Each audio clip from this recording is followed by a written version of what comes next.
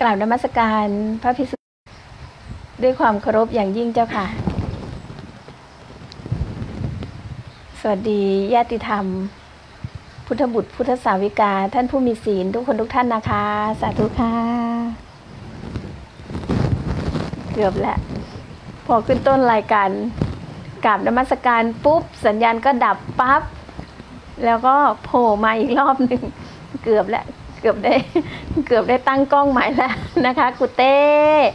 ขอให้ลูกกุเต้ของอาจารย์แม่มีความสุขขอให้ลูกกุเต้ของอาจารย์แม่สุขภาพดีแข็งแรงอะเรื่องในวันเกิดเกิดมาดีเกิดมาได้พบมรรคผลนิพพานด้วยนะคะ ในชาตินี้ปิดประตูอบายนะลูกนะเนี่ยเข้ามาก่อนเพื่อนเลยได้โอกาส ได้โอกาสอวยพรวันเกิดลูกชาย อยู่สปปลาวนะคะ อายุยังไม่ถึง 20 แสวงหาทางพ้นทุกข์แสวงหาทางออกจากภพแล้ว สาธุค่ะ คุณนิโรธาโพธิสาธุนะคะ สาธุทุกท่านที่ที่เข้ามา แต่แปลกประหลาดเหลือเกินค่ะ ทุกท่านทักอาจารย์ แต่อาจารย์ไม่เห็นว่ามียอดคนดูเท่าไหร่ อย่างนี้ไม่แน่ใจว่าอาจารย์จะหายไปแวบๆหรือเปล่านะคะคุณวิโรธระยองครับ อ๋อ พี่วิโรธนะคะ สาธุค่ะคุณมุ่งสร้างคนเสริมบารมีสาธุค่ะแหมตั้งชื่อได้ดีนะ สร้างคนเสริมบารมีนี่สุดยอดเหมือนอาจารย์เลยเนี่ย อาจารย์ก็สร้างคุณครูรัตนห้าเพื่อปฏิบัติหน้าที่เผยแผ่รักษาพระศาสนานะคะ สวัสดีพี่นบสวัสดีพี่จี๊บไหวลาวสวัสดีน้องปอน ค่ะ อ๋อ น้องปอนบอกว่ามีเจ็ดท่านเนี่ย เนี่ยอาจารย์แปลกๆของอาจารย์อยู่นะคะ ว่าหน้าจอของอาจารย์เนี่ยไม่ปรากฏปกติจะมีว่ามีใครเข้ามาชมอาจารย์ได้กี่ท่านอะไรเงี้ยค่ะ ฉะนั้นถ้าการแปลกๆอย่างนี้ถ้าอาจารย์หายไป คิดว่าให้อาจารย์ตั้งกล้องใหม่หรือว่าอาจารย์หายไปเลยดีคะถ้าสัญญาณมันตัด มีการต่อรองด้วย อย่างเงี้ยจะตั้งใจออกอากาศหรือเปล่าเนี่ย สวัสดีค่ะ น้องทิติรัตน์นะคะ สาธุค่ะ พี่นพให้รูปหัวใจอาจารย์ด้วย น้องปอนบอกว่าตอนนี้เจ็ดท่านครับ อาจารย์นะคะ สัญญาณอาจารย์แปลกๆอยู่ ไม่เป็นไรค่ะไหนๆก็เข้ามาแล้วนะคะ เสียงธรรมจากพระไตรปิฎกตอนสุตตมยญาณโดยดิฉันอาจารย์ธัญรัตน์แก้วใสนะคะ จากสำนักปฏิบัติเรียนพุทธพจน์โพธิปักเคียธรรม สวัสดีค่ะ คุณมาลายจากลาวสบายดีเนาะอืม สาธุครับแม่คุณแม่ หลายสองเดือน ไม่แน่ใจ อาจารย์แม่อ่านไม่ค่อยเข้าใจแต่ลูกกุเต้นะคะ ไม่เป็นไรอาจารย์พยายามอ่านนะ ลูกน่ารักดี กุเต้น่ารักมากนะคะ สวัสดีค่ะ คุณสุนันคุณสุนันบอกกล่าวสวัสดีค่ะ คุณสิริพรนาดี สาธุนะคะ สาธุทุกท่านที่เข้ามาค่ะ อาจารย์ขอประกาศอนุโมทนากุศลก่อนนะคะ ทุกท่านที่เข้ามาแล้วตั้งจิตตั้งใจอธิษฐานบารมีอธิษฐานบุญนะคะ เวลาที่อาจารย์อธิษฐานนะคะ ประกาศไปขอให้ท่านตั้งจิตดีใจว่าเขาคนนั้นที่ได้ซื้อที่ดิน ให้ท่านมองอนาคตไปเลยว่า ถ้าชาตินี้บุญส่งผลพวกเขาก็จะมีที่ดินนะคะ เป็นของตัวเองไม่ต้องไม่ต้องเช่าไม่ต้องอะไร และถ้าบุญส่งผล ชาติต่อๆไปเขาก็จะมีที่ดินมากมายมหาศาล ท่านมองอันนี้ส่งตัวนี้ แล้วก็มองอันนี้ส่งต่อไปว่า ถ้าเขาทำบุญซื้อที่ดินอย่างนี้ชาติต่อไป หรือในชาตินี้ กุศลจะส่งผลให้เขาเป็นผู้มีจิตหนักแน่นมั่นคงเหมือนแผ่นดิน มีจิตตั้งมั่น พ้นจากความทุกข์เข้าสู่มรรคผลนิพพาน แล้วท่านก็อนุโมทนากล่าวคำว่า สาธุสาธุสาธุอนุโมทามิ ด้วยอนุภาพแห่งกุศลที่ข้าพเจ้า อนุโมทนากุศลกับท่านท่านนี้ท่านนี้ที่อาจารย์ประกาศนะคะ ในครั้งนี้จงส่งผลให้ข้าพเจ้ามีความสุขและอธิษฐานเลยค่ะ ถ้าสมมุติว่าท่านมีศัตรูหมู่มารอยู่ในตอนนี้ก็อธิษฐานให้ศัตรูหมู่มารนั้นนะคะ สลายไปอุปสรรคในชีวิตสลายไป อย่างเงี้ยเป็นต้นโอเคไหมคะท่านต้องบอกก่อนล่วงหน้ากลัว กลัวท่านจะใช้บุญไม่เป็น สวัสดีค่ะ คุณสมายนะคะ สาธุนะคะค่ะ สาธุทุกท่านที่เข้ามาเนาะอะอาจารย์แนะนำแล้ว เดี๋ยวอาจารย์ก็ขออนุโมทนากุศลนะคะ วันนี้มีบูชาธรรมอาจารย์นะคะ บูชาธรรมอาจารย์ ตั้งแต่วันที่ 30 มานะคะ ก็มีคุณชัยวัฒน์อ่าอังคณานุพงศ์ร่วมบูชาธรรมอาจารย์ 500 บาท นะคะวันที่ 30 คุณทัศนกรเสริมศรีบูชาธรรม อาจารย์ 16 บาท 88 สตางค์สาธุนะคะวันที่ 31 คุณทัศนกรเสริมศรีบูชาธรรมอาจารย์ 16 บาท 88 สตางค์สาธุสาธุนโมทนานะคะ สาธุค่ะ แล้วก็ขออนุโมทนากุศลผู้ร่วมบุญซื้อที่ดินนะคะกับอาจารย์ในครั้งนี้เนาะพอดีว่ามีเหตุมีปัจจัยให้ทุกคนได้ร่วมสร้างบารรมีกับอาจารย์ไง ถ้าอาจารย์มีเงินเดี๋ยวคนไม่ได้ร่วมบารรมีกับอาจารย์ก็เดี๋ยวไม่มีเหตุปัจจัยให้ได้สนับสนุนกุศลจิตให้เข้าถึงมรรคผลนิพพานเนาะฉะนั้นเป็นโอกาสดีที่ท่านจะได้ร่วมบุญซื้อที่ดิน ถวายเป็นพุทธบูชาสร้างสำนักปฏิบัติธรรม เรียนศึกษาคำสอนของพระพุทธเจ้า ถวายเป็นพุทธบูชานะคะ ขออนุโมทนากุศลในวันนี้นะคะ ให้อาจารย์อ่านตรงที่มีดอกจันใช่ไหมน้องจิ๊บ อ๋อค่ะ วันที่ 30 วันนี้นะคะ คุณอนุโมทนากับคุณสันสนีวันดี ร่วมซื้อที่ดิน 100 บาท สาธุนะคะ ทุกท่านสาธุด้วยนะคะ อนุโมทนากับคุณพี่ละอองหุนทวีชัย น้องข้าวหอม น้องเสือคิด น้องเสือเขียนนะคะ ร่วมบุญบูชาธรรมกับอาจารย์ พี่ละออ500 บาท น้องข้าวหอม 200 บาทน้องเสือคิดเสือเขียน 300 บาทสาธุอนุโมทนานะคะ สาธุอนุโมทนากับคุณเพชรชรีแย้มคำร่วมซื้อที่ดินกับอาจารย์ 500 บาทสาธุนะคะ แล้วก็สาธุกับคุณพี่สุนิสา คุณสมศักดิ์แสงดี ร่วมซื้อที่ดินกับอาจารย์ 10,000 บาทจารึกชื่อ 5 ท่านนะคะ สาธุอนุโมทนาค่ะ สาธุอนุโมทนากับคุณจีดาพาเตียงจานร่วมซื้อที่ดินกับอาจารย์ ถวายเป็นพุทธบูชา 100 บาท สาธุค่ะ สาธุกับพลตรีหญิงอัญชนาสาวคนนะคะ ร่วมซื้อที่ดินถวายเป็นพุทธบูชาแกับอาจารย์ 500 บาทสาธุค่ะสาธุกับคุณกนกพงษ์แก้วมุนีวงศ์นะคะ ร่วมซื้อที่ดินถวายเป็นพุทธบูชาแกับอาจารย์ 2,000 บาทสาธุค่ะ สาธุกับพระคุณเจ้าพระอาจารย์ศิวเมธสาธุนะคะ อยู่ที่วัดละคังร่วมซื้อที่ดินถวายเป็นพุทธบูชากโยม อาจารย์ 1,000 บาทสาธุเจ้าค่ะ สาธุอนุโมทนานะคะ ในตรงนี้ที่ทุกคนทุกท่านได้มีโอกาสได้ร่วมบุญสะสมบุญในตรงนี้ไม่ใช่ง่าย ๆนะคะ ไม่ใช่ง่าย ๆ ที่เราจะได้ทำกุศลแบบนี้นะคะ ฉะนั้นเป็นโอกาสดีของทุกคนเป็นอย่างยิ่งเลยนะคะ อาจารย์สอนอนุโมทนาไปแล้วเนาะท่านตั้งจิตอนุโมทนาได้ได้ดีนะคะ ก็จะเกิดผลตามที่ท่านตั้งปรารถนาเลย สวัสดีค่ะ พี่ชิดกกลาง สาธุค่ะ สาธุทุกท่านที่เข้ามานะคะอาอาจารย์ไม่เห็นว่ามียอดคนเท่าไหร่ไม่แน่ใจว่า ถ้าอาจารย์หายไปก็ให้เข้าใจว่า อาจารย์ติดขัดข้องทางด้านสัญญาณนะคะ สวัสดีคุณธัญรัตน์ธรรมรักษ์นะคะ สาธุค่ะ สวัสดีกับคุณสุนิพานะคะ สุนิพาสาธุค่ะ สวัสดีคุณ สาวกานะคะ พุทธสาวกา ไปเร็วหายเร็วนะคะ สาวิกาบารมีสาธุค่ะสวัสดีน้องทิติรัตน์นะคะ สาธุค่ะทุกท่านที่เข้ามาทักทายอาจารย์ตอนนี้นะคะอ๋อ29 ท่านเหรอคะน้องปอนสาธุค่ะสาธุค่ะพี่นารีลาสาธุพี่ยุทธนานะคะ พี่ด็อกเตอร์ยุทธนานี่ต้องได้ปิดประตูใบ บรรลุธรรมเข้านิพพานในชาตินี้แน่ ๆเลยนะคะ เพราะจิตใจมีแต่ธรรมะทุกวันทุกวันที่อาจารย์เห็นโพสต์นะคะ สวัสดีคุณสงการแพงไพลีค่ะ สาธุค่ะพี่วิพดา พี่กีนะคะเอาละค่ะวันนี้อาจารย์อยากจะนำเรื่องหนึ่งอยู่ในหนังสือเล่มเปลี่ยนร่างชาติสุดท้ายนะคะ อาจารย์อ่านแล้วก็พอดีตรงกับในสุตตมยญาณ ตอนที่อาจารย์เขียนในหนังสือ พอดีไปตรงกับสุตตมยญาณแต่ตอนเขียนหนังสือเนี่ยไม่ได้ไปดูในสุตตมยญาณหรอกนะคะ ว่าเขามีสภาวะอย่างนี้ไม่ได้ไปอ่านพระไตรปิฎกตรงนั้น แต่เขียนตามที่นะคะ สภาวะมันมีอยู่จริง พอดีมันตรงกัน อาจารย์ก็เลยอยากจะอ่านให้ทุกคนทุกท่านได้ฟังอีกรอบหนึ่งนะคะ เพื่อ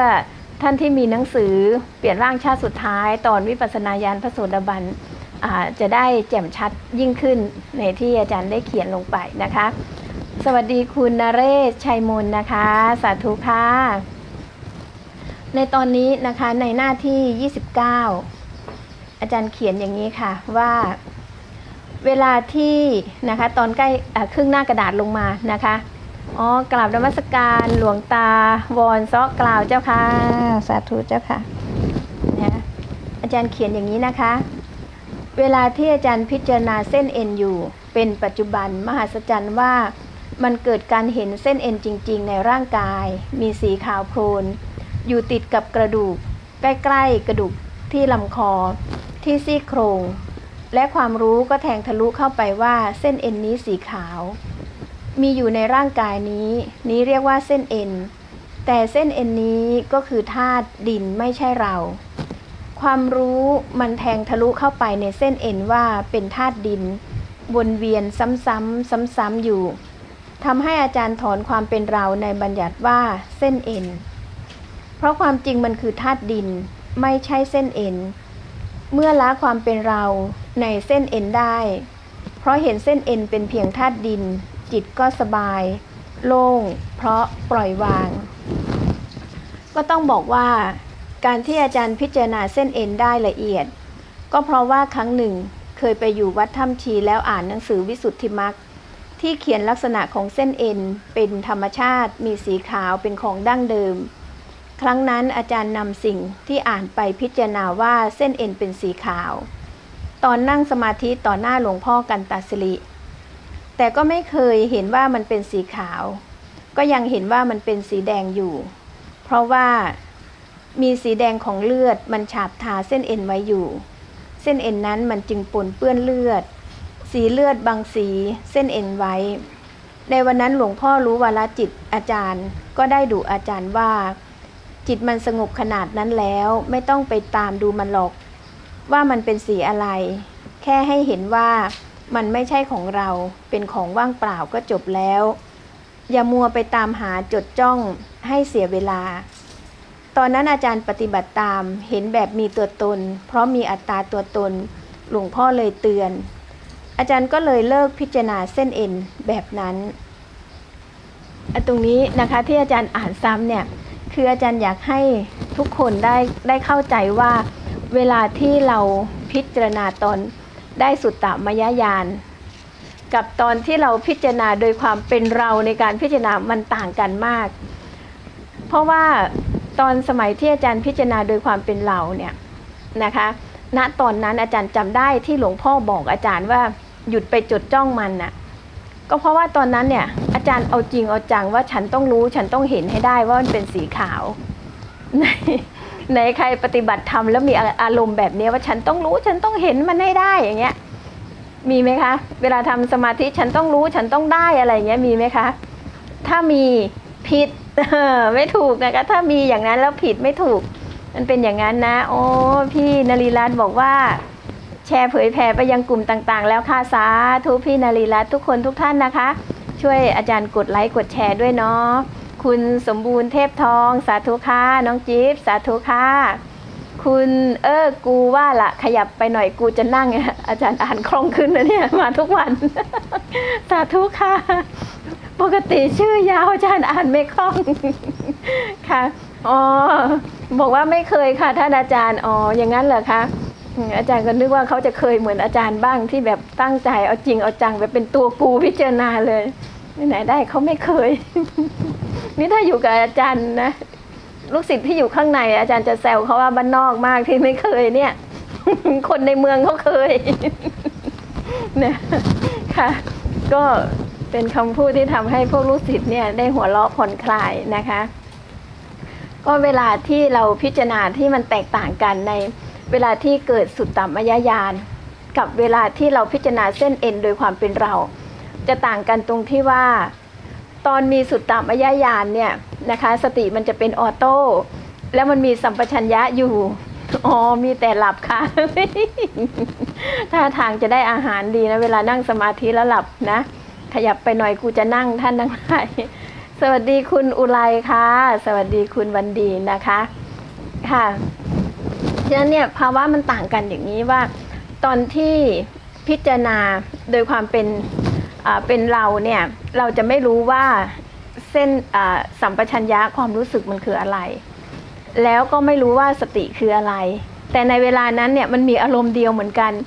มันจดจ้องเข้าไปที่เส้นเอ็นเหมือนกัน แต่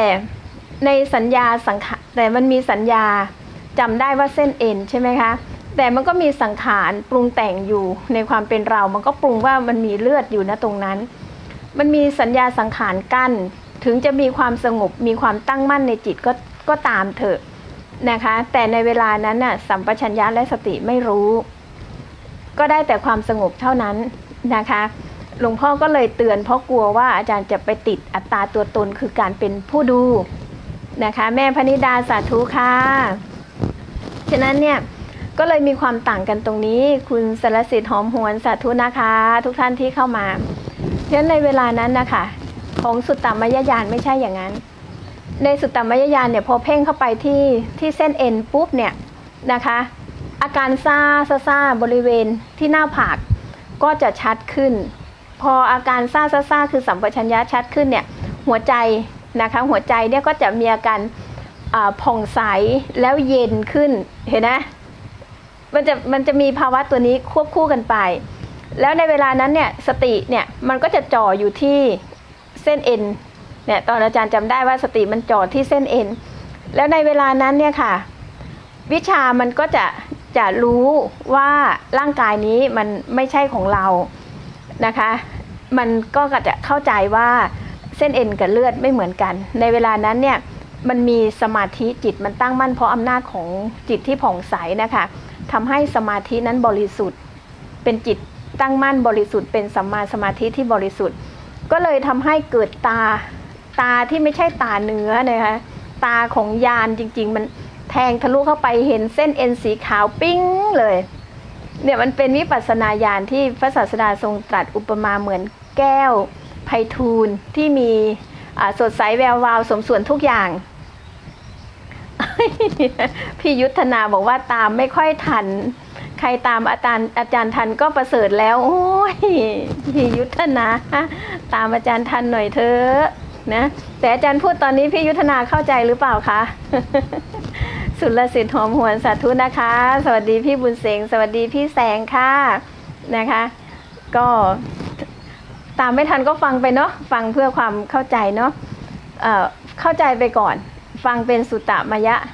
ปัญญาไปก่อนนะคะ แล้วเวลาปฏิบัติเดี๋ยวสุตตมยญาณก็จะเกิดขึ้นได้ แล้วก็จะทำให้เราไม่หลงทาง นะคะ ไม่หลงทางไปนิพพาน สวัสดีค่ะพี่โนบอกขับรถถึงกรุงเทพแล้วครับโอ้โหทันฟังอาจารย์พอดีสาธุค่ะนะคะ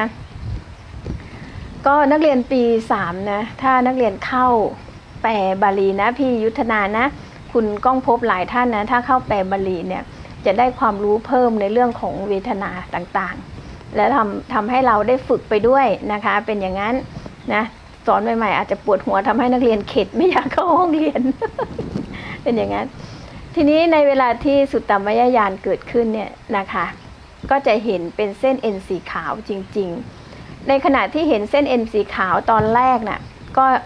ยังมีสัญญา และยังมีสังขารปรุงแต่งว่าเป็นเส้นเอ็นสังขารปรุงแต่งว่าเป็นเส้นเอ็นเห็นไหมคะ สัญญาก็จำรูปร่างของเส้นเอ็นอย่างนั้น แต่พอพิจารณาไปว่าเส้นเอ็นมันคือใคร มันก็มียานเกิดขึ้นเทียบลงไปว่าเส้นเอ็นนั้นเป็นธาตุดินอ๋อปฏิบัติรู้ตัวอยู่เสมอได้ไหมครับ ได้ไหมครับ คงจะถามว่าอย่างนี้เนาะคุณนเรศชัยมนใช่ค่ะ ต้องรู้ตัวอยู่เสมอต้องมีสัมปชัญญะควบคู่ด้วย แม้เราจะพิจารณาธรรม แต่สัมปชัญญะต้องเกิดนะคะ ถ้าเป็นอย่างนั้นแล้วเนี่ยวิชาจะตั้งขึ้น แล้วก็จะทำให้วิชาความรู้หรือญาณที่เกิดขึ้นนั้นบริสุทธิ์นะคะ สวัสดีคุณพัชรมูลนะคะ ใช่คุณพัชรมูลหรือเปล่านะ อาจารย์เห็นแวบๆหายไปแล้วนะคะ สาธุค่ะอ๋อน้องปอนบอกมีผู้รับชม 47 ท่าน อาจารย์ไม่เห็นวันนี้ เพราะว่าตอนเข้ามาสัญญาณมันหายไปแวบหนึ่งนะคะ ก็เลยไม่ทราบว่ามีท่านใดเข้ามาได้ฟังอาจารย์กี่ท่านแล้ว ทีนี้นะคะพอปฏิบัติไปเนี่ยพอเราเห็นพอพิจารณาแล้วว่าเนี่ยมันเป็นเส้นเอ็นนะคะทำไมต้องพิจารณาละ่ะ ก็เพราะว่าล้างความยึดมั่นถือมั่นไงคะล้างอัตตาตัวตน เพราะพวกเราเนี่ยมีความยึดมั่นถือมั่นผิดมีที่มีมิจฉาทิฏฐิมีความเห็นผิดว่าเนี่ยร่างกายคือดินน้ำไฟลมว่าเป็นเราใช่ไหมคะเข้าใจผิดว่าจิตที่มันไม่มีตัวตนมันว่างเปล่านี่เป็นเราถูกต้องไหมคะ ฉะนั้นแหละเวลาที่สุตตมยญาณเกิดขึ้นเนี่ยแล้วญาณของเขาเนี่ยเห็นปัจจุบันอารมณ์ตรงนั้นอย่างแจ่มชัดแล้วเนี่ยถ้าจะไม่ให้เป็นเราก็ต้องละความเป็นเราก่อนนะคะละความเป็นเราก่อน ในนามธนาคารแมวกำลังรับชมอยู่สาธุค่ะคุณคุณธนาคารแมว สาธุค่ะคุณมานะพระมานะจันคงสาธุนะคะ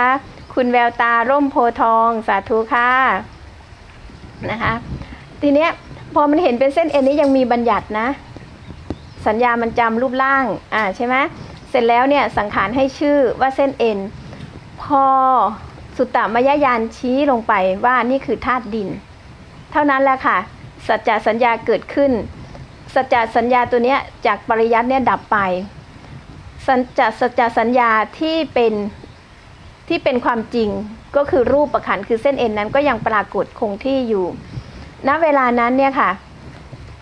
ธรรมวิจยะญาณก็แทงลงไปตามที่สุตตมยญาณทำเป็นเครื่องรู้ชัดนะคะ ชี้ให้เห็น ก็พิจารณาลงไปว่ามันใช่ธาตุดินจริงไหม พอพิจารณาไปธาตุดินปุ๊บ เห็นเส้นเอ็นเป็นธาตุดินปุ๊บ มันก็ทำให้สลาย สลายชื่อของของเส้นเอ็นว่า จริง ๆ มันก็ไม่ใช่อะไร มันก็เป็นเพียงธาตุเห็นไหมคะ มันก็ปล่อย ปล่อยความเป็นเราพอปล่อยความเป็นเราในเส้นเอ็นตรงนี้ได้ถือว่าข้ามอะไรข้ามสังขารตัวที่เข้าไปยึดว่าเส้นเอ็นเป็นเราได้ แล้วก็จะมีวิชาเพิ่มขึ้นเนี่ยเป็นอาการอย่างนี้ลักษณะประมาณนี้นะคะที่ที่อาจารย์อ่านในเล่มเปลี่ยนร่างชาติสุดท้ายตอนพระสุดาบันเนี่ยนะคะเวลาเห็นจริง ๆ ต้องเป็นอย่างนี้นะคะเป็นอย่างนี้ ฉะนั้นเนี่ย เวลาที่ปฏิบัติแบบมีตัวตนนะคะที่อาจารย์อ่านก็เพื่อมุ่งให้เห็นว่า เวลาที่มีตัวตนกับไม่มีตัวตนเนี่ยความรู้มันต่างกันแบบนี้นะคะอะไหนๆวันนี้อาจารย์กลัวทุกคนทุกท่านนะคะ กว่าอาจารย์จะบรรยายจบเรื่องเรื่องของสุตตมยญาณและญาณต่างๆ อีก 70 กว่ายานกลัวทุกท่านไม่เข้าใจ เรามาฝึกสัมปชัญญะไปพร้อม ๆ กันดีไหมคะ เพื่อที่จะได้มีสภาวะที่แก่กล้าขึ้น ทุกท่านลองเอามือรูปที่หน้าผากตัวเองดูนะคะ มีความรู้สึกไหมคะ ถ้ามีความรู้สึกไหนลองหยุดสิคะ หยุดรูป พอหยุดรูปแล้วความรู้สึกหายไหมคะ หาย ฉะนั้นลองรูปหน้าผากตัวเองอีกมีความรู้สึกไหมอ่ามีหยุดรูปหายไหมคะ หายนะคะกล่าวนมัสการพระคุณเจ้าที่เข้ามาเมื่อสักครู่นะคะ เมื่อสักครู่ เออ พระคุณเจ้าหายไปแล้ว พระมหาสมศักดิ์อัปปการเจ้าค่ะสาธุเจ้าค่ะ สวัสดีคุณพิเชษพ่วงพรมนะคะ เข้ามาแล้วเดี๋ยวเราฝึกไปพร้อมกัน ให้ท่านเห็นว่านะคะ ให้ท่านเห็นว่าเวลาที่ที่เราเห็นหน้าผากในขณะนี้นะคะ เป็นสภาวะที่ไม่ใช่เราเห็นนะคะ เป็นสภาวะของปัญญาเห็น ปัญญาเห็น เห็นกายเนี่ยเป็นปัญญานะ แต่ถ้าไปเห็นอย่างอื่นเนี่ยเป็นมิจฉาทิฏฐินะ เป็นอย่างนั้นนะคะ เป็นอย่างนั้นถ้าเป็นถ้าไปเห็นอย่างอื่นเนี่ยเป็นมิจฉาทิฏฐิ มันจะทำให้กรรมและก็นิมิตรูปร่างต่างๆ ปรากฏขึ้นในจิต แล้วก็จะเพิ่มอัตราตัวตนมากขึ้น อย่างเงี้ยเรียกว่านะคะเรียกว่าเป็นมิจฉาทิฏฐิความเห็นผิด แต่ถ้าเห็นกายอย่างเงี้ยนะคะผู้ปฏิบัติเห็นกายอย่างเงี้ยอยู่เนี่ยอย่างเงี้ยเป็นปัญญา ปัจจุบันอารมณ์ที่ถูกเห็นนะตอนนั้นก็คือร่างกาย ถ้าเรามองไปตรงจุดไหน จุดนั้นเป็นสิ่งที่ถูกเห็น ถ้าเรามามองมาที่หน้าผากเนี่ยหน้าผากเป็นผู้ถูกเห็น โดยปัญญาเป็นผู้เห็น เพราะว่าตาเนื้อเนี่ยมันอยู่ข้างล่างมันอยู่ใต้หน้าผากเห็นไหมคะตาเนื้อมันจะมองขึ้นไปมองดูหน้าผากมันไม่ได้หรอกนะคะฉะนั้นที่เราเห็นตรงนี้อยู่เนี่ยก็เป็นสภาพธรรมที่เรียกว่าปัญญา แต่ต้องเห็นกายจึงจะเป็นปัญญา เห็นที่อื่นไม่ใช่ปัญญาเน้นนะคะ สวัสดีนะคะ คุณแสนภูมิ สวัสดีคุณจิ ปนนสิทธิชัยค่ะ สวัสดีทุกท่านที่เข้ามานะคะ เสร็จแล้วพอเห็นอย่างนี้เนี่ยค่ะ เรียกว่าเห็นเห็นรูป พอเห็นรูปแล้วนะคะทำความรู้สึกสัมปชัญญะนะคะทำความรู้สึกสัมปชัญญะก็จะมีความรู้สึกด้วย ความรู้สึกสัมปชัญญะที่ซ่าบ้าง หนุบๆบบ้างนะคะสัมปชัญญะตัวนั้นอะเรียกว่านาม ถ้าขณะนี้ปัญญาเห็นทั้งรูปกับนามนะคะ จะเห็นทั้งรูปกับนาม ให้ผู้ปฏิบัติเนี่ย ฝึกนึกลงไปซ้ำๆที่บริเวณหน้าผากหรือบริเวณท้ายถอยที่เส้นผมนะคะ ถ้านึกแล้วไม่มีสัมปชัญญะลองเอามือลูบดู มันจะมีความรู้สึก แล้วมือออก ถ้าเกิดว่านึกลงไปมันไม่มีพยายามนึกไปเรื่อยๆ ถ้าบุคคลที่ฝึกจนชำนาญแล้ว สัมปชัญญะมันจะมีทันทีเลย แต่ถ้าบุคคลที่ยังไม่ชำนาญนะคะ นึกเท่าไหร่ก็ยังเฉยก็ไม่เป็นไรนะคะ สู้อดทนไปทำไปเรื่อยๆ พอเราทำไปปุ๊บนะคะรู้สึกริมฝีปากแห้งนะคะพอเราทำไปปุ๊บเนี่ยก็เราก็จะมีอาการของจิตที่สงบ นิ่งๆไว้เห็นที่หน้าผากรู้สึกที่หน้าผากค่ะ รู้ชัดที่หน้าผากเห็นที่หน้าผาก รู้ชัดที่หน้าผากนะคะ เห็นที่หน้าผากรู้ชัดที่หน้าผาก เห็นที่หน้าผากรู้ชัดที่หน้าผากแล้วค่อย ๆ นึกถึงผมอะลองนึกถึงผม นึกถึงเส้นขน นึกถึง ผมขนเล็บ นึกถึงฟัน เวลานึกถึงฟันก็นึกมาที่ปากตัวเองนะคะ นึกถึงหนังหนังทั้งหมดในร่างกายค่ะ นึกถึงเนื้อ นึกถึงเอ็น นึกถึงกระดูก นึกถึงเยื่อในกระดูก เยื่อในกระดูกคือสภาพธรรมที่อยู่ข้างในกระดูกอีกทีหนึ่งนะคะ เรานึกเอาแม้เราจะไม่เห็นจริง ๆ ก็ไม่เป็นไรเนาะ แค่ให้เราเข้าใจ เวลานึกแล้วเราเข้าใจก็ใช้ได้นะคะ นึกถึงม้าม นึกถึงหัวใจ นึกถึงตับ นึกถึงพังผืด นึกถึงไต นึกถึงปอด นึกถึงไส้ใหญ่ นึกถึงไส้น้อย นึกถึงอาหารใหม่ นึกถึงอาหารเก่า นึกถึงน้ำดี น้ำดีจะอยู่ที่ใกล้ ๆ กับตับนะคะ แม้ท่านจะไม่รู้ว่าอยู่ตรงไหนแต่ให้รู้ว่าน้ำดีมีในร่างกาย โดยพื้นฐานอย่างนี้ก็ใช้ได้นะคะ นึกถึงน้ำเสลดน้ำเสลดจะอยู่ตรงบริเวณคอลำคอนะคะ นึกถึงน้ำหนอง นึกถึงน้ำเลือด น้ำเลือดมีอยู่ทั่วไปในร่างกายนะคะ นึกถึงน้ำเหงื่อ นึกถึงน้ำมันข้น นึกถึงน้ำตา นึกถึงเปลวมัน นึกถึงน้ำลาย น้ำลายบริเวณปากนะคะ นึกถึงน้ำมูก น้ำมูกนี่ก็จะอยู่บริเวณที่จมูกนะคะ นึกถึงไขข้อ นึกถึงน้ำมูดปัสสาวะ นึกถึงมันสมอง มันสมองก็คือเยื่อในสมองอยู่ข้างในเนี่ยค่ะ ทุกอย่างควรรู้ยิ่งบอกตัวเองลงไปค่ะทำสัมปชัญญะอีกครั้งหนึ่งนะคะ มีความรู้สึกตัวเห็นหน้าผากอยู่ค่ะ พอเห็นหน้าผากแล้วนะคะ ฝึกฝึกสตินะคะ นึกถึงผม ให้สตินึกถึงผม ให้สตินึกถึงเส้นขน สตินึกถึงเล็บ สตินึกถึงฟัน ให้สตินึกถึงหนัง สตินึกถึงเนื้อ สตินึกถึงเอ็น สตินึกถึงกระดูก สตินึกถึงเยื่อในกระดูก สตินึกถึงม้าม สตินึกถึงหัวใจ สตินึกถึงตับ สตินึกถึงพังผืด สตินึกถึงไต สตินึกถึงปอด ให้สตินึกถึงไส้ใหญ่ ให้สตินึกถึงไส้น้อย ให้สตินึกถึงอาหารใหม่ ให้สตินึกถึงอาหารเก่า ให้สตินึกถึงน้ำเสลดให้สตินึกถึงน้ำหนอง ให้สตินึกถึงน้ำเลือด ให้สตินึกถึงน้ำเหงื่อ ให้สตินึกถึงน้ำมันข้น ให้สตินึกถึงน้ำตา ให้สตินึกถึงน้ำมันเหลว ให้สตินึกถึงน้ำลาย ให้สตินึกถึงน้ำมูก ให้สตินึกถึงน้ำมันไขข้อ ให้สตินึกถึงน้ำปัสสาวะ ให้สตินึกถึงเยื่อในสมอง บอกตนเองไปว่าทำทุกอย่างควรรู้ยิ่งเนี่ยพระศาสดาตรัสนะคะว่าทุกอย่างในร่างกายอย่างที่อาจารย์อ่านเมื่อสักครู่เนี่ยครูบาอาจารย์เรียกว่าอสุภะฉะนั้นเนี่ยพระศาสดาก็ตรัสครูบาอาจารย์เรียกว่าอาการ 32 ขอโทษค่ะ คุณชนาอาชดานินนะคะ สอนเกลี้ยงสาธุนะคะ แต่พระศาสดาตรัสเรียกอสุภะนะคะ คุณวิไลวันสังทีสาธุค่ะนึกไปเรื่อยๆนะคะ เป็นการฝึกสติ ให้เราได้รู้ว่าเนี่ยเวลาที่เรามีชีวิตอยู่แต่ละวัน เรานึกที่อื่นที่ไม่ใช่ร่างกายเนี่ยเขาเรียกว่าจิตส่งออกนึกออกนอกกาย นึกแบบนั้นเป็นการสร้างภพถ้าเราจะนะคะจะให้จิตเราสงบ หยุดความฟุ้งซ่าน เราก่อนอื่นเราต้องรู้ว่าสติคืออะไร ทีนี้เราจะรู้ว่าสติคืออะไรเนี่ยเราต้องฝึกที่จะนึกไปในส่วนต่างๆ ของร่างกาย ถ้าเราฝึกที่จะนึกไปในส่วนต่างๆ ของร่างกายแล้วจิตมันอยู่อะแล้วมันสามารถนึกได้ไปเรื่อยๆ ผู้ปฏิบัติจะสัมผัสถึงความสงบ ที่มันเกิดขึ้นในจิต จะสัมผัสถึงความฟุ้งซ่านที่ที่มันลดลงมันไม่มีเนี่ยอาจารย์ค่อยเป็นค่อยไปนะเนี่ยพี่ยุทธนาเนี่ยพี่ยุทธนาเล่นบอกว่าใครตามอาจารย์ท่านก็เก่งแล้วครับเนี่ยโอ้ยมันทำให้อาจารย์เนี่ย จะไปลึกไม่ได้เลยกลัวเขาตามไม่ทัน ต้องกลับมา อาจารย์กลับมาสอนอย่างนี้ดีไหมคะเนี่ยไหนใครว่าดีเขียนบอกอาจารย์นะคะ อาจารย์จะได้รู้ตัวว่า อาจารย์ต้องต้องสอนอย่างนี้บ่อย ๆ นะ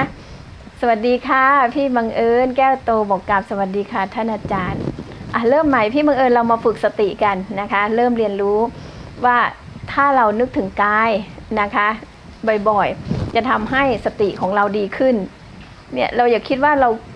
เราอยู่ทั้งโลก เราวางแผนอย่างนู้นอย่างนี้อย่างนั้นเราเก่ง เรามีสติอย่าไปคิดนะคะไอ้นั่นน่ะขาดสติทั้งหมดนั่นแหละ เมื่อไรที่นึกในกายมากๆนั่นแหละถึงจะเรียกว่าไม่ขาดสติอะมาไหนๆก็ขาดสติกันทั้งวันแล้วมาฝึกไม่ขาดสติกันบ้างนะคะอะมาฝึกเอาบุญนึกถึงกายเนี่ยได้บุญนะพระศาสดาทรงตรัสว่าชนเหล่าใดบริโภคกายคตาสติ อมตะชื่อว่าอันชนเหล่านั้นบริโภคแล้ว เป็นอย่างนี้นะคะ คุณเออกูแล้วว่าขยับไปหน่อยกูจะนั่งบอกว่าดีค่ะ ท่านอาจารย์ คุณเพนพรมบอกว่าสาธุค่ะ คุณสงการแพงศรีบอกว่าดีครับโอ้โหสนับสนุนกันใหญ่เลย โอเคอะดีก็ดีนะ เอาเป็นว่าสอนไปไกลก็ไม่ได้เขาพากันทักเราไว้งั้นก็มาฝึกสติกันต่อไปอะนะคะ ฝึกสติก่อนแล้วเราค่อยเข้าตัวอื่นเนาะ บอกน้องกุเต้บอกดีครับ ตามลำดับครับงามในเบื้องต้นทำกลางและที่สุดครับแม่ ไม่ต้องเลยกุเต้ในกุเต้อยู่ใกล้ๆแม่จะหยิกให้นี่ งามทั้งเบื้องต้นก็ต้องกลาง ฝึกให้มันแก่กล้ามันจะได้แบบทั้งเบื้องต้นทำกลาง เอาแต่เบื้องต้นก็ให้มันได้เถอะกุเต้เอ้ยลูกอะนะทุกคนมาเอาเบื้องต้นกันให้ได้นะ เบื้องต้นนะอะนึกถึงผมนะคะทำความรู้สึกนะ ถ้าท่านไม่ไม่มีความรู้สึกตรงนี้อะง่าย ๆนะคะ ท่านขยับนิ้ว พอขยับนิ้วแล้วมีความรู้สึกที่ปลายนิ้วด้วย ทั้งสองมือเลยก็ได้นะคะ แล้ววางมือไว้ข้างลำตัวนะคะ แล้วก็นึกไปที่หน้าผากด้วย เอามันเต็มที่เลยนะคะ จิตมันไม่อยู่ให้มันรู้ไปเที่ยวนี้อะแล้วนึกลงไปนึกเห็นบ้างไม่เห็นบ้างไม่เป็นไร แต่ฝึกเอานะคะอะนึกถึงผมค่ะมีสัมปชัญญะที่หน้าผากเห็นหน้าผากอยู่ ขณะที่มีความรู้สึกอยู่นะคะ ให้ใช้สตินึกลงไปที่เส้นผม นึกลงไปที่ขน นึกลงไปที่เล็บ นึกลงไปที่ฟัน นึกลงไปที่หนัง นึกลงไปที่เนื้อ นึกลงไปที่เส้นเอ็น นึกลงไปที่กระดูก นึกลงไปที่เยื่อในกระดูก นึกลงไปที่ม้าม นึกลงไปที่หัวใจ นึกลงไปที่ตับ นึกลงไปที่ผังผืด นึกลงไปที่ไต นึกลงไปที่ปอด นึกลงไปที่ไส้ใหญ่ นึกลงไปที่ไส้น้อย นึกลงไปที่อาหารใหม่ นึกลงไปที่อาหารเก่า นึกเข้าไปที่ร่างกายที่ถุงน้ำดี นึกไปในร่างกายที่น้ำเสลดนึกไปในร่างกายที่น้ำหนอง นึกไปในร่างกายที่น้ำเลือด นึกไปในร่างกายที่น้ำเหงื่อ นึกไปในร่างกายที่น้ำมันข้น นึกไปในร่างกายที่น้ำตา นึกไปในร่างกายที่เปลวมัน นึกไปในร่างกายที่น้ำลาย นึกไปในร่างกายที่น้ำมูก นึกไปในร่างกายที่น้ำมันไขข้อ นึกไปในร่างกายที่น้ำปัสสาวะ นึกในส่วนร่างกายที่มันสมองศีรษะ พูดในใจบอกตนเองว่าทำทุกอย่างควรรู้ยิ่งทำอย่างนี้นะคะ เรามาฝึกไปพร้อม ๆ กันเนาะ สงสารทุกคนที่นะคะมีชีวิตที่เดือดร้อน มีชีวิตที่วุ่นวายวันนี้เราเข้ามาแล้วเราพักผ่อนกันนะวิธีพักผ่อนที่ดีที่สุดนี่แหละ คือการทำสติให้เกิดขึ้น สวัสดีนะคะ คุณแม่ยิ้มยิ้มสาธุค่ะนะคะ คุณแม่มาฝึกสติไปพร้อมกันค่ะ อีกรอบหนึ่งนะคะ อีกรอบหนึ่งอะนึกถึงเส้นผมมีสติสัมปชัญญะอยู่ค่ะ มีสติสัมปชัญญะนึกถึงเส้นขนทั่วร่างกาย มีสติสัมปชัญญะนึกถึงเล็บ มีสติสัมปชัญญะนึกถึงฟัน มีสติสัมปชัญญะอยู่นึกถึงเนื้อ มีสติสัมปชัญญะอยู่นึกถึงเส้นเอ็น มีสติสัมปชัญญะอยู่นึกถึงกระดูก มีสติสัมปชัญญะอยู่นึกถึงเยื่อในกระดูก มีสติสัมปชัญญะอยู่นึกถึงม้าม มีสติสัมปชัญญะอยู่นึกถึงหัวใจ มีสติสัมปชัญญะอยู่นึกถึงตับ มีสติสัมปชัญญะอยู่นึกถึงพังผืด มีสติสัมปชัญญะอยู่นึกถึงไต มีสติสัมปชัญญะอยู่นึกถึงปอด มีสติสัมปชัญญะอยู่เห็นกาย นึกถึงไส้ใหญ่ มีสติสัมปชัญญะอยู่เห็นกาย นึกถึงไส้น้อย มีสติสัมปชัญญะอยู่เห็นกาย นึกถึงอาหารใหม่ มีสติสัมปชัญญะอยู่เห็นกาย นึกถึงอาหารเก่า มีสติสัมปชัญญะอยู่เห็นกายนึกถึงน้ำสเลดมีสติสัมปชัญญะอยู่เห็นกายนึกถึงน้ำหนอง มีสติสัมปชัญญะอยู่เห็นกาย นึกถึงน้ำเลือดทั่วร่างกาย มีสติสัมปชัญญะอยู่เห็นกายนึกถึงเหงื่อ มีสติสัมปชัญญะอยู่เห็นกายนึกถึงน้ำมันข้น มีสติสัมปชัญญะอยู่เห็นกายนึกถึงน้ำตา มีสติสัมปชัญญะอยู่เห็นกาย นึกถึงเปลวมันเหลวในร่างกาย มีสติสัมปชัญญะอยู่เห็นกาย นึกถึงน้ำลายที่ปาก มีสติสัมปชัญญะอยู่เห็นกาย นึกถึงน้ำมูก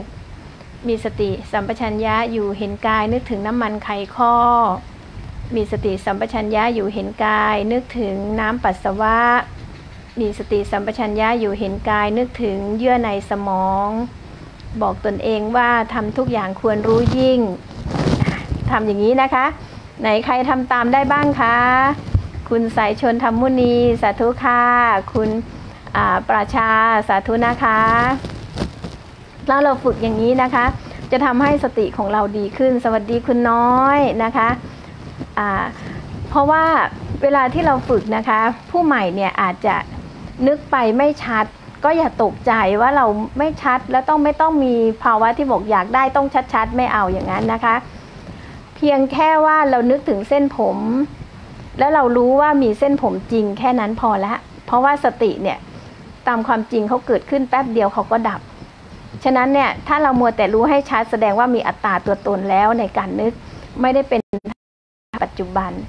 ฉะนั้นเราจึงไม่ต้องไปบังคับว่าต้องเห็น ถ้าไปบังคับว่าต้องเห็นจะเป็นการฝึกที่มีตัวตน มีสังขาร มีอัตตา นะคะ ฉะนั้นเนี่ยเราฝึกสบายๆ ถ้านึกถึงเส้นผม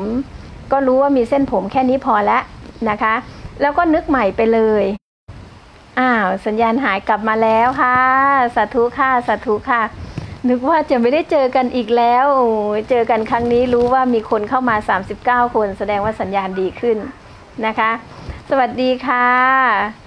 คุณวารินนะคะ สวัสดีค่ะ อ๋อพลอย คุณพลอย สาธุค่ะ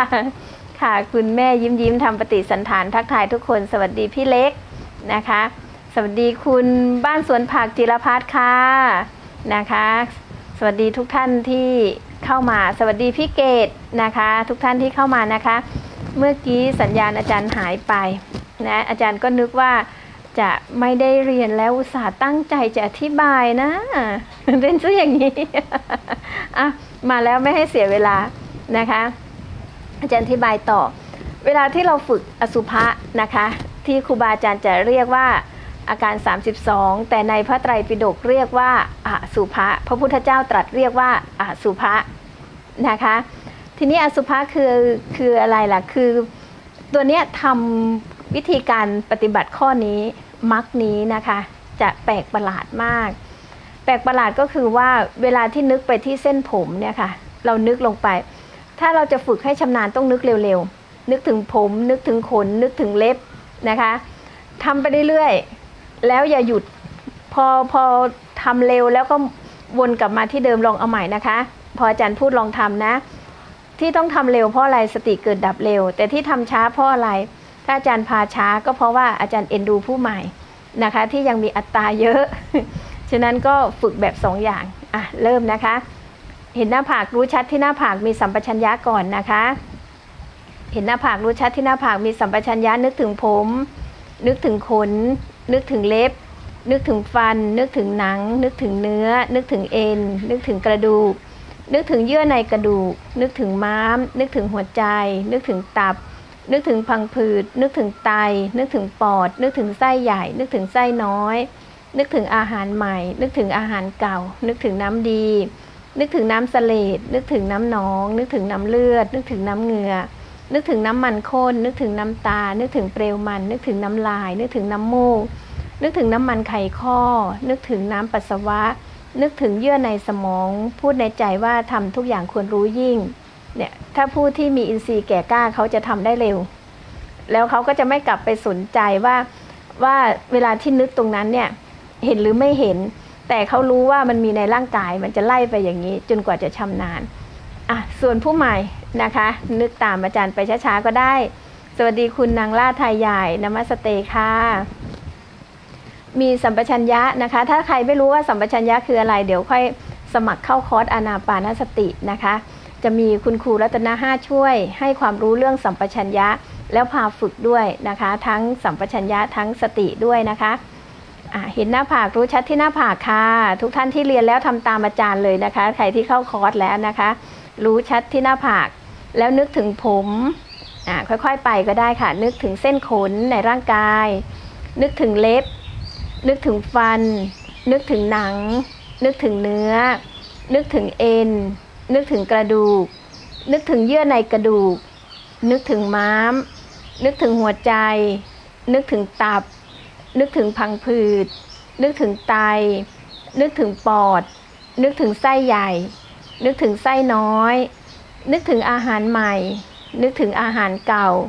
นึกถึงสเลดนึกถึงหนอง นึกถึงเลือด นึกถึงเหงื่อ นึกถึงมันข้น นึกถึงน้ำตา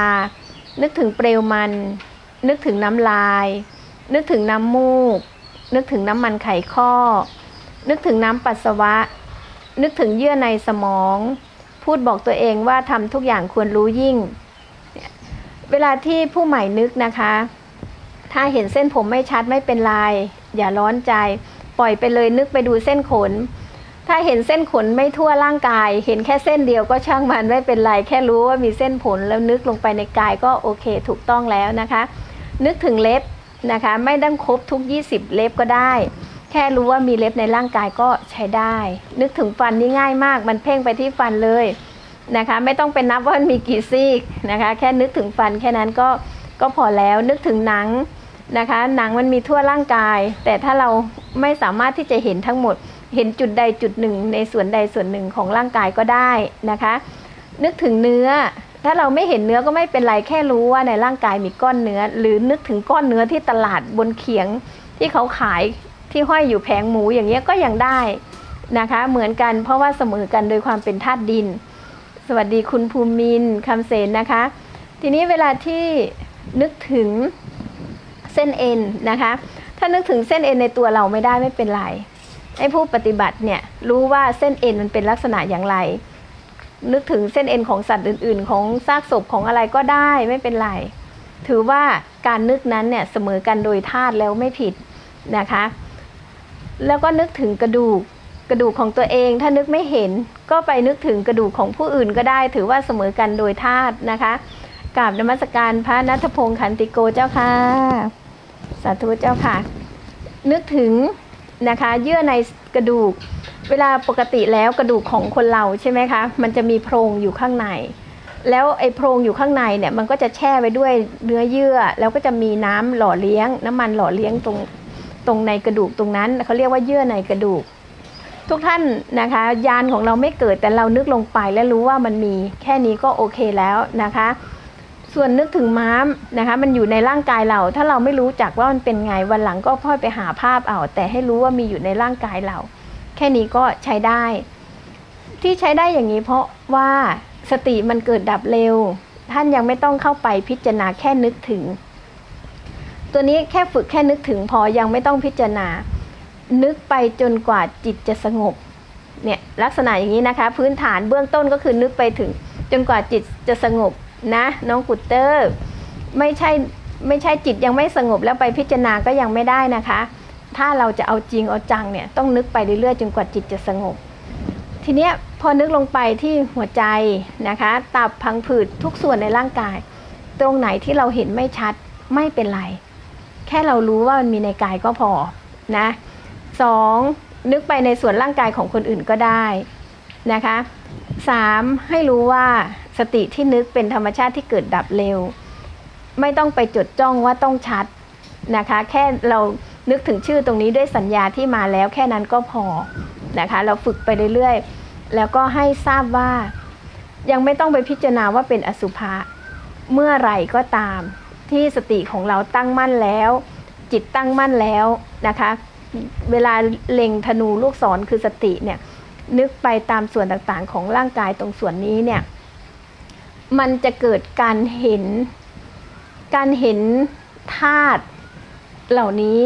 ในร่างกายว่ามันนิ่งเฉย จากนั้นมันจะเกิดการปล่อยวาง จากนั้นมันจะเกิดวิลาคาของมันเองเป็นอัตโนมัติ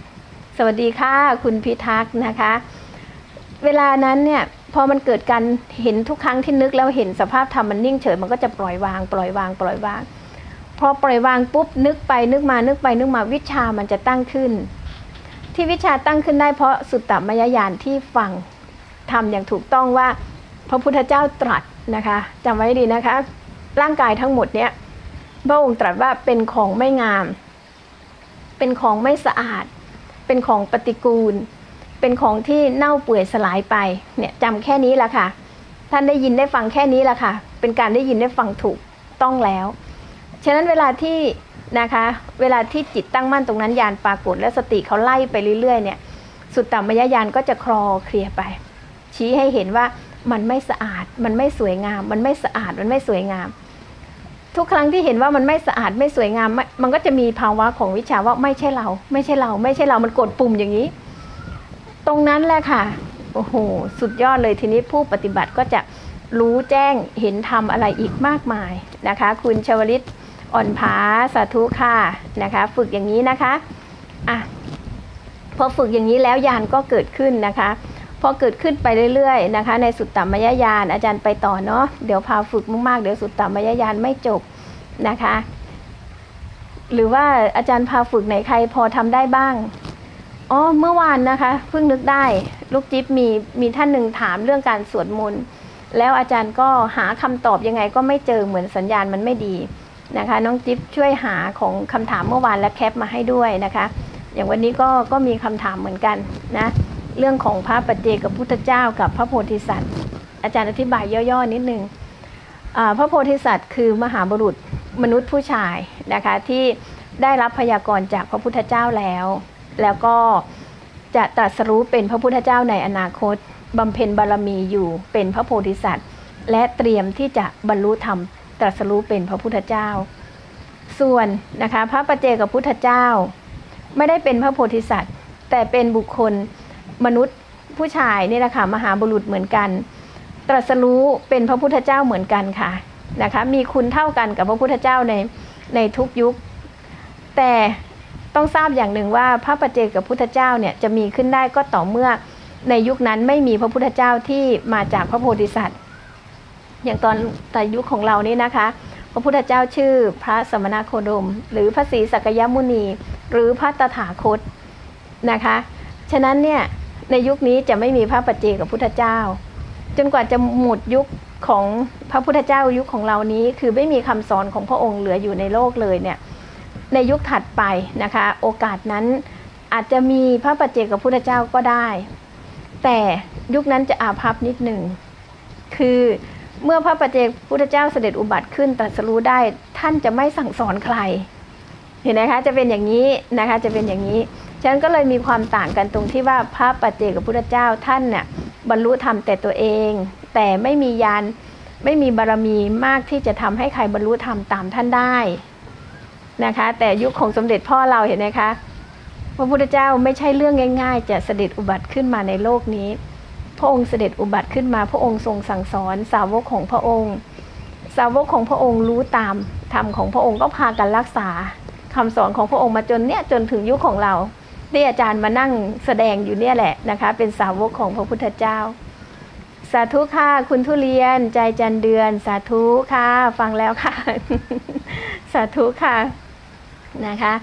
อะทีนี้มาดูสภาวะของเมื่อวานนะคะ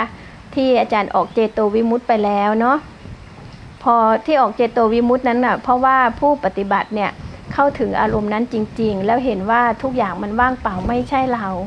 สัตว์โลกกำลังพากันหลงผิด แล้วถ้าถ้าแผ่เมตตาตรงนั้นออกมาเองจากหัวใจเนี่ยจะต้องเห็นชัดตามความเป็นจริงว่าสัตว์โลกเหล่านั้นกำลังตกอยู่ในในเปลวเพลิง เพลิงคืออะไรเพลิงคือโลภะ เห็นไหมคะคือจิตที่มีโลภะมากอยากได้มากมันร้อนหลนกระวนกระวายนะคะเพลิงคือโทสะทำให้โอ้โหอยู่ไม่ติดเลยโทสะตัวนี้นะคะ ทุกใจเสียดแทงใจ รุ่มร้อนอยู่ไม่สบายใจเลยเป็นทุกตลอดนอนก็ไม่หลับกินก็ไม่อิ่มเนี่ยไอ้เพลิงคือโทสะตัวนี้นะคะ เพลิงคือโมหะก็คือความลุ่มหลงความช่วยเหลือตัวเองไม่ได้นะคะมีอาการเสื่องซึม มีอาการที่เบรกความฟุ้งซ่านอะไรต่างๆ ไม่ได้เนี่ยเพลิงเหล่านี้นะคะกำลังเผาเหล่าสรรพสัตว์นั้นอยู่ ผู้ที่ได้เมตตาเจโตวิมุตตินั้นเห็นธรรมชาติเหล่านั้นว่า เพลิงเหล่านั้นเนี่ยที่เป็นกิเลสเนี่ยมันไม่มีรูปร่าง มันไม่มีตัวตนร่างกายนี้ ก็ไม่ใช่ตัวตน เพราะมันคือธาตุดินน้ำไฟลม มันคือธรรมชาติที่นิ่งเฉยอยู่แบบนี้ มันเน่าเปื่อยสลายไป ไม่เคยรู้เรื่องอะไรเลยเนี่ยผู้ปฏิบัติที่กำลังอยู่ในสุตตมยญาณเห็นอย่างนี้ก็มีเมตตาจิตหลั่งไหลออกมาว่า เราสรรพสัตว์นั้นกำลังหลงผิดเห็นไหมคะกำลังหลงผิดจงเป็นสุขเถิด จงอย่าได้มีเวรและปรารถนาความสิ้นทุกข์ให้แก่เราสรรพสัตว์อย่างนั้น เพราะว่าตนเองได้เห็นและได้ก้าวข้าม สภาวะที่มีจิตเบียดเบียนนั้นได้นะคะ เห็นไหมคะต้องเป็นอย่างนี้นะ สวัสดีค่ะ คุณปราณีเสริมพอง สวัสดีน้องกุตเต้ที่ให้รูปหัวใจอาจารย์นะคะ สวัสดีคุณเลิศลักษณ์ทรงพลค่ะสาธุนะคะ ทุกคนทุกท่าน ทีนี้พอรู้อย่างนั้นแล้วก็ทำให้เกิดเห็นว่าสัตว์ทั้งหลายที่เกิดตายเกิดตายเนี่ยเพราะมีอวิชชานะ คือความไม่รู้ความไม่เข้าใจ ก็เห็นว่าที่ไม่รู้ไม่เข้าใจก็เกิดอะไรขึ้นเกิดสังขาร สังขารปรุงแต่งโอ้โหปรุงแต่งทุกเรื่องเลย ยึดทุกอย่างว่าเป็นเราเวลาปรุงแต่งเสร็จเห็นไหมคะเกิดสภาพของวิญญาณก็ไม่รู้จักวิญญาณ เกิดนามรูปก็ไม่รู้จักนามรูป เพราะมันมีอวิชชาเป็นหลัก เกิดสลายตนะตาหูว่ามันไม่ใช่เรา มันเชยอยู่ก็ยังยึดว่าเรานะคะ เกิดภาวะของการกระทบ เกิดเวทนา เกิดตัณหา เกิดอุปาทาน เกิดภพเกิดชาติชรามรณะก็ยังไม่รู้มันเป็นอย่างนี้ อย่างเมื่อวานที่ในกลุ่มไลน์นะคะอาจารย์พาพิจารณาความชราว่ารูปนี้มันชราเวลามันชราแล้วมันเป็นยังไงตามันก็โบลงไปแก้มมันก็ตอบ แต่จิตที่เข้าไปยึดรูปนั้นนะว่าเป็นเรา มันน่าสลดสังเวชใจ เพราะว่ารูปตามความจริงมันแก่ไม่ใช่เรา แต่จิตเนี่ยมันยังยึดว่าเป็นเราขณะที่มีชีวิตอยู่ เพราะจิตมันมันมีอวิชชา ทั้งๆทที่จิตนั้นก็ว่างเปล่า อาจารย์พาพิจารณาอย่างนี้ จริงๆ วันนี้อาจารย์ว่าจะพาพิจารณาอีกนะคะ ก็พอดีหมดเวลานะคะค่ะสวัสดีคุณวาลินทองเหลืองนะคะ ทีนี้พอผู้ปฏิบัติเนี่ยรู้มาถึงชรามรณะอย่างนี้แล้วก็ถอนอัตราตัวตนในในร่างกายนะคะ ถอนอัตราตัวตนในร่างกายจากนั้นเนี่ยก็พิจารณาว่าเนี่ยคือทุกทุกทั้งหมดเลยเนี่ยเกิดมาในโลกนี้อะไรก็อะไรก็เป็นทุกทั้งหมดไม่มีอะไรไม่ใช่ทุกมันเป็นอย่างนั้น นะคะเป็นอย่างนั้น ฉะนั้นเนี่ยเวลาทุกตัวเนี้ยมันเกิดขึ้นเนี่ยมันมีอาทุกข์กับร่างกาย ทุกข์กับลูกทุกข์กับสามี ก็เป็นร่างกายทั้งนั้นแหละค่ะนะคะทุกข์กับรูปประขัน ทุกข์กับเวทนาขัน ทุกข์ที่เกิดจากสัญญาความจำทุกข์ที่เกิดจากสังขารความคิด ทุกข์ที่เกิดจากวิญญาณที่รู้แจ้งฟังอาจารย์เข้าใจกันไหมเนาะสวัสดีค่ะ คุณเมคาสาธุนะคะ สวัสดีทุกท่านที่เข้ามาณตอนนี้นะคะ สวัสดีคุณบุญสร้างตัดผมชายสาธุค่ะ ทีนี้พอผู้ปฏิบัติเนี่ยค่ะสุตตมยญาณเนี่ยแจ้งให้ทราบเนี่ยว่าเนี่ยมันคือทุกข์นะ ก็ก็เห็นชัดตามความเป็นจริงนะคะ แล้วก็รู้ว่าเนี่ยขณะเนี้ยจิตตัวเองผ่องใสแล้วไม่เข้าไปยึดมั่นในร่างกายว่าเป็นเรานะคะ มีความเบื่อหน่ายว่ารูปประขันนี้ไม่ได้รู้เรื่อง เห็นอย่างนี้แล้วนะคะ ก็รู้ว่าบุคคลที่ไม่ได้ปฏิบัติอย่างนี้ ไม่ได้มีจิตตั้งมั่นผ่องใสอย่างนี้ พวกเขาก็จะมีจิตที่ทยานอยากได้สิ่งนั้นสิ่งนี้ หรือไม่พอใจสิ่งนั้นสิ่งนี้อยู่ อาการที่อยากได้เป็นสาเหตุเนี่ยตัวเรียกว่าสาเหตุของการเกิดทุกข์เรียกว่าทุกขสมุทัยก็รู้ว่าเนี่ยโอ้โหสัตว์โลกทั้งหลายเนี่ยสร้างเหตุกันทุกวันเลย ไม่ขณะที่จิตส่งออกและขาดสติเนี่ยมันเป็นการสร้างภพตลอดเวลา แต่ถ้ามีสตินึกถึงกายนะอย่างเมื่อคืนที่อาจารย์สอนลูกศิษย์นะคะห้องครูรัตนห้าว่ามีสัมปชัญญะอย่างเนี้ยต่อให้เห็นต่อให้ได้ยินกิเลสก็จะไม่เข้าก็จะยุติระบบการสร้างภพอาจารย์สอนแล้วพาทำไงลูกศิษย์รู้เกี้ยงทุกคนเลยในห้องนะคะ ชัดเจนมากอาจารย์เนี่ยแทบลอยเลย เพราะอินทรีย์เขาแก่กล้าฝึกเป็นประจำนะคะ ตรงนี้แหละ พอผู้ปฏิบัติเนี่ยมาถึงตรงนี้ก็จะรู้ว่าเนี่ยคนทั้งหลายเนี่ยไม่ได้มีสติสัมปชัญญะแบบเนี้ยก็ทำให้เนี่ยในชีวิตประจำวันสร้างภพตลอด เพราะมันมีเหตุของการเกิดทุกข์ผู้ปฏิบัติก็เพ่งมาที่ใจของตัวเองว่าตนเองจะเกิดทุกข์อีกไหมก็เห็นว่าตอนเนี้ยทุกข์ในใจของตนเองดับ เพราะมันไม่มีเหตุเกิดทุกข์แล้ว แต่ว่ายังไปไม่ถึงที่สิ้นสุดแห่งทุกข์ก็เพ่งมาว่าทำไมทุกข์ ในใจของตนเองดับนะคะ ตอนที่เพ่งมาดูที่ใจตัวเองเห็นทุกข์ดับเนี่ยเรียกว่าทุกขานิโรธ ก็คือความดับทุกข์มันเกิดขึ้นแล้ว แล้วจิตที่มีตัณหาที่อยากจะให้ตัวเองเนี่ยอยากได้ตัวเองอยากได้สิ่งนู้นสิ่งนี้ อยากได้ขันทั้งห้าเนี่ยมันไม่มีแหละ เพราะทุกข์มันดับ เพราะมีความเห็นถูกต้องว่าไม่ใช่เรา ไม่เป็นเราไม่ใช่ตัวตนของเรา ผม พอเพิกถอนคำว่าผมออกมันก็ไม่มีอะไรนอกจากดินน้ำไฟลมเนี่ยก่อนที่จะมาออกอากาศเนี่ยอาจารย์นั่งพิจารณาเข้าสมาธิ พิจารณาผมเป็นดินน้ำไฟลมยังไงนะคะก็ไล่ลงไป หนังเป็นดินน้ำไฟลมยังไง ไล่จนแตกกระจายเลย จังหวะของหนังเนี่ยมีอะไรขั้นอยู่ไหมมีน้ำเลือดแทรกอยู่ไหมตรงหนังเนี่ยเออถ้ามีน้ำเลือดแทรกเนี่ยมีธาตุน้ำเออ แล้วหนังตรงนี้เป็นธาตุดินมันแข็งอย่างนี้ ช่องว่างระหว่างเลือดกับหนังตรงเนี้ยเป็นอากาศธาตุเป็นธาตุลม และอาการของหนังนี่มีเย็นมีร้อนไหมเออเนี่ยเป็นธาตุไฟจะนั่งพิจารณาพอเรานั่งพิจารณาอย่างเงี้ยจิตมันก็ตั้งมั่นนะคะ ทุกมันก็ดับยันผู้ปฏิบัติเนี่ยรู้เลยว่าทุกมันดับเนี่ยเพราะจิตมันไม่ส่งออก มันพิจารณากายอยู่อย่างนี้ จิตก็เลยไม่ส่งออก เพราะมันเห็นชัดตามความเป็นจริงเห็นไหม ผู้ปฏิบัติถึงรู้ไงคะว่า เนี่ย เพราะเราทำตามคำสอนของพระพุทธเจ้าจริง ๆ มันก็เห็นจริงๆเห็นไหมคะไม่ทำตามใจตัวเอง แต่ทำตามใจพระพุทธเจ้า พระพุทธเจ้าสอนยังไงทำอย่างนั้น เราก็จะเห็นตามพระองค์จริง ๆ อย่างนี้จึงเชื่อว่าคนมีศรัทธามันเป็นอย่างนี้นะคะ ไม่ใช่ไปตามใจตัวเองโอ้มันเห็นไปอย่างงู้นปรุงไปเรื่อยไม่ใช่นะคะ จะต้องพิจารณาอยู่ในกายเท่านั้น ต้องเป็นอย่างนี้ ส่วนอะไรเกิดขึ้นช่างช่างมันไว้ก่อน เป็นอย่างนี้นะ คุณวันดีค่ะทีนี้พอพิจารณาอย่างนั้นผู้ปฏิบัติเนี่ยก็รู้ว่าเนี่ยทุกมันดับแล้ว และทุกมันดับได้ยังไง ผู้ปฏิบัติก็เลย เพ่งลงไปอ๋อเพราะเราพิจารณาร่างกาย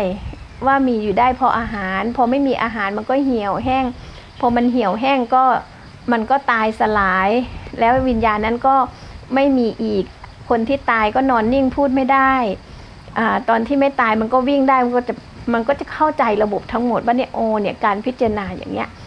เป็นทุกขานิโรธคามินีปฏิปทา คือการที่ปฏิบัติตามหนทางคามปฏิปทาคือปฏิบัติสม่ำเสมอคามนิก็คือตามทาง ตามทางอะไรตามทางตามมรรควิธีของการที่จะดับทุกข์ นะคะนิโรธเนี่ยแปลว่าดับดับอะไรทุกขาก็คือทุกคือจะไม่มีขันห้าเกิดได้อีก ฉะนั้นเนี่ยเมื่อผู้ปฏิบัติเนี่ยพิจารณาอย่างนี้ว่าอ๋อ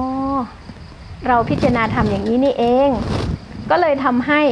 ณเวลานั้นแจ่มแจ้งรู้แล้วแหละว่า อะไรอะไรในชีวิตเรา แต่ละวันแต่ละวันนั้นรวมลงแล้วมันก็คือเวทนาขัน รวมลงแล้วมันก็คือสัญญาขัน รวมลงแล้วมันก็คือสังขารขัน รวมลงแล้วมันก็คือวิญญาณขัน รวมลงแล้วมันก็คือตาหูจมูกลิ้นกายใจ ก็พิจารณาไล่ไปเรื่อยๆ จนกระทั่ง รวมลงแล้วสุดท้ายมันก็คือความแก่ แล้วก็ความตายชรามรณะ และเนี่ยผู้ที่ไม่เห็นแบบนี้ก็จะมีสมุทัยต่อไปก็สร้างภพต่อไป ฉะนั้นพอผู้ปฏิบัติที่ได้สุดตัมมยญาณมาถึงตรงนี้ ก็รู้ว่าเนี่ยชรามรณะนิโรธชรามรณะนะคะนิโรธคามินีปฏิปทา ก็คือต้องพิจารณาความตายอย่างนี้ พิจารณาความแก่อย่างนี้นะคะพิจารณามรณะอย่างนี้ถึงจะทำให้ตัณหาเนี่ยมันไม่เกิด เรียกว่าชรามรณะสมุทัยนะคะ ช่วงค่ำๆจะมียุงตัวใหญ่เข้ามาอาจารย์ อาจารย์เตรียมผ้าไว้แล้ว วันนี้ถ้ามียุงเข้ามาก็จะพัดมันอย่างนี้นี่แหละนะคะ พัดยุงเตรียมผ้าไว้แล้ว แต่ผ้าผืนใหญ่ไป เสร็จแล้วนะคะ เวลาที่ยานสุตตมยญาณตัวนี้เกิดขึ้น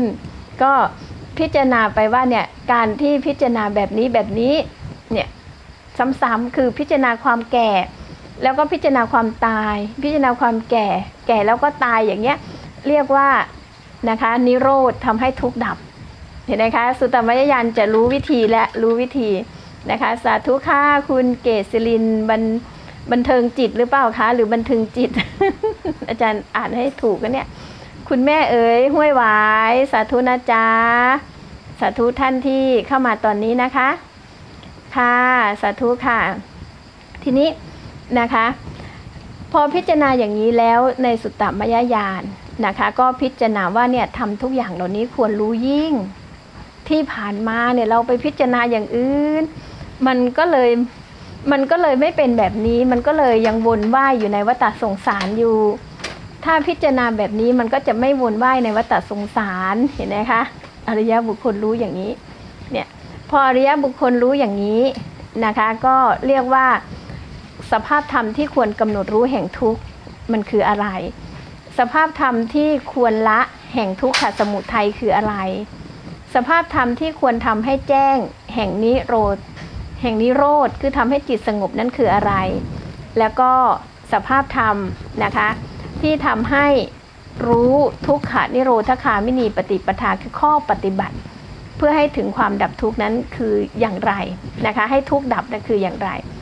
ก็รู้สภาพธรรมที่ควรกำหนดรู้แห่งรูปเห็นไหมคะ เราเนี่ยเรียนมากายคตาสติสติปัฏฐานน่ะเรียนว่ากายสติปัฏฐานกายานุปัสนาสติปัฏฐาน เรียนกันแต่ทำไม่เป็นเป็นอย่างนี้นะคะ คุณนัสรีพาณิชชัยสาธุนะคะ เรียนกัน เอ้ยกายานุปัสนาสติปัฏฐานเรียนกันเถอะ แต่ทำไม่เป็นมันเป็นอย่างนั้นนะคะ ความเบื่อหน่ายเป็นทุกข์ทำอย่างใดดีครับ จะดับทุกข์ได้ เบื่อหน่ายอย่าไปอย่าไปใส่ใจในอารมณ์เบื่อหน่ายนะ ถ้าใส่ใจในอารมณ์เบื่อหน่ายแล้ว แล้วมันไปลำคาญคนอื่น มันก็เป็นกุกุจะนิวรณ์พิจารณาอย่างที่อาจารย์บอกนะคะที่พาทำนี่แหละ ให้ใช้สตินึกลงไปในกายแล้วพิจารณาไปเรื่อยๆ มันจะเป็นสาเหตุสาเหตุทำให้เกิดเบื่อหน่ายและเกิดวิชา แล้วก็พิจารณาไปเรื่อยๆทำอย่างนี้ จนกว่าจะถึงนิพพานนะคะ ถ้าไปติดอยู่ที่ความเบื่อหน่ายก็เป็นอัตตาตัวตน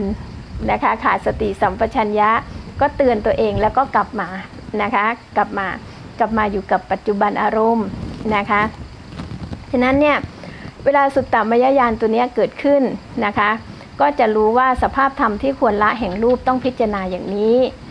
สภาพธรรมที่ควรละสมุทัยก็ต้องพิจารณาอย่างนี้ ถ้าไม่เบื่อหน่ายอย่างเงี้ยมันก็จะทยานอยากได้ นะคะ รูปธรรมนามธรรมมันจะไม่ปรากฏนะคะ แล้วก็สภาพธรรม ที่ทำให้รู้แจ้งนิโรธนะคะ ก็คือสภาวะแบบนี้ สภาพธรรมที่ควรเจริญ แห่งนิโรธาคามินิปฏิปทา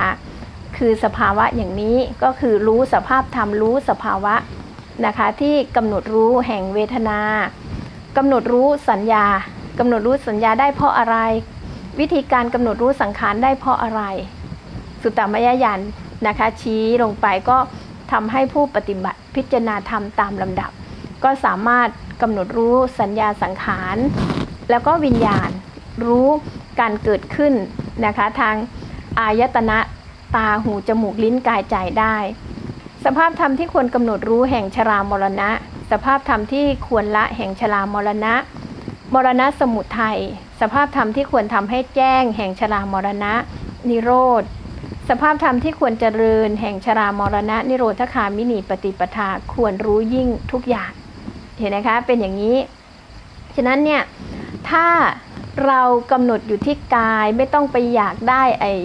ตัวผู้รู้ผู้เห็นนัก ถ้าไปอยากได้อยากให้มันปรากฏเนี่ยไม่บรรลุธรรมหรอก เดี๋ยวจะไปติดอยู่ตัวนั้นด้วย ต้องพิจารณาในสิ่งที่ควรพิจารณานะคะ ฉะนั้นผู้ได้สุตตมยญาณจะรู้ว่าสภาพธรรมไหนควรกำหนดรู้ สภาพธรรมไหนควรพิจารณาจะรู้โดยอัตโนมัติเลยค่ะ มันเป็นอย่างนี้อ้าวเวลาหมดแล้วนะคะ เดี๋ยวนักเรียนเขาจะเข้าสอนนะคะ เข้าสอนสมาธิและนะคะ อานาปานสติ วันนี้คุณครูพี่แสง อาจารย์ก็ต้องลาอย่างกระทันหันเพลินไปนะคะ ลืมดู เดี๋ยวคำถามนะคะ ที่ถามไว้เมื่อวานนะคุณครูจิ๊บจิ๊บเอาเอาไว้ในสมุดให้อาจารย์ในวันหลังนะคะ เดี๋ยวอาจารย์ตอบให้วันหลังวันนี้หมดเวลาแล้วกราบนมัสการลาพระคุณเจ้าทุกๆ รูปเจ้าค่ะ แล้วก็สวัสดีญาติธรรม ทุกคนทุกท่านเพียงเท่านี้ก่อนนะคะ ให้โอกาสครูรัตนาห้าได้เข้าอบรมอนาปานสติในคอร์สอนาปานสติสามวันค่ะ สาธุสาธุค่ะ สวัสดีค่ะ